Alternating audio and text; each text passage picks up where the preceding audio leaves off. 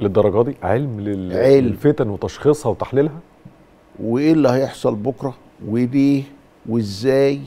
وإزاي نخرج منها؟ وإزاي كذا إلى آخره؟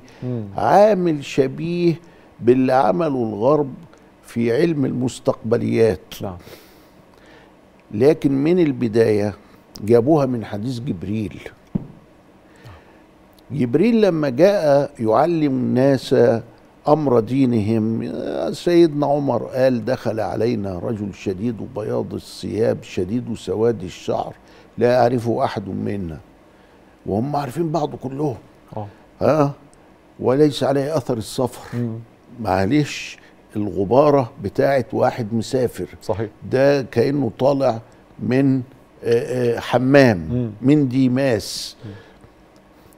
فجاء فجلس إلى النبي فجعل ركبتيه إلى ركبتيه ووضع يديه على فخذيه على هيئة المتأدب يعني. مم. وسألوا ما الإيمان؟ ما الإسلام؟ ما الإحسان؟ متى الساعة؟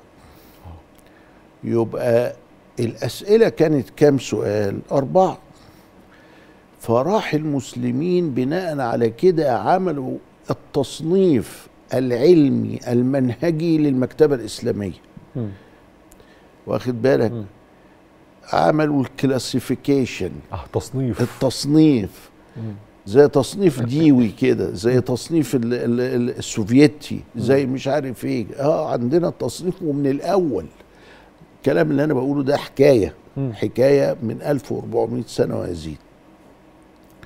بصوا كده قالوا الله دي الحكاية مربعة. مربعة ليه؟ لأنهم أربع أسئلة. سأل عن الإسلام فعملوا له الفقه. الفقه ده يحتاج إلى أصول ويحتاج إلى قواعد. قبله أصول وبعده بعد ما نتج قواعد. فعملوا أصول الفقه وقواعد الفقه. و- وسأل عن الإيمان.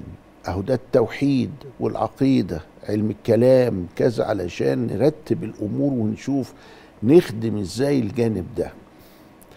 وسأل عن الإحسان اللي هو التصوف اللي هو أعمال القلوب اللي هي الأخلاق يسميها كل واحد ما يريد أن يسميها ولكن اشتغلوا عليه مم. وسأل عن أشراط الساعة مم. الاستعداد النبي صلى الله عليه وسلم بيقول بعثت والساعة كهاتين كهاتين يعني خلاص أنا آخر واحد The last testament. يعني. آخر عهد. في العهد القديم بتاع. سيدنا موسى وقومه وبعدين في العهد الجديد بتاع سيدنا عيسى وقومه نعم في بقى ده العهد ال- الأخير مم. اللي هو بتاع سيدنا محمد وقومه الصلاة إذا كان في عهد بين البشرية وبين الله موسى وضحه عليه وعلى نبينا الصلاة والسلام وكذلك عيسى وضحه عليه السلام عليه السلام وكذلك محمد وضحه عليه السلام. عليه الصلاة والسلام. فإذا عملوا التصنيف ده اللي هو يتكلم عن كده قال طيب لسه في حتة رابعة. مم. إيه الحتة الرابعة؟ قالوا الفتن. فألف نعيم بن حماد الفتن. كتاب اسمه كده. هو. لوحده كده الفتن. اسمه كده. اللي حضرتك بتسأل عنه. الفتن لنعيم بن حماد. مم. نعيم ده واحد من المحدثين الكبار وجمع بقى ال- ال- الحاجات اللي الفتنة دي إمتى؟ إزاي؟ شكلها إيه؟ إيه الحكاية؟ إيه الرواية؟ سببها؟ طب نخرج منها إزاي؟ طب نروح فين؟ طب آخره. يبقى إذا ده علم بقى. ده إحنا بنتكلم مش إنه حالة ده علم.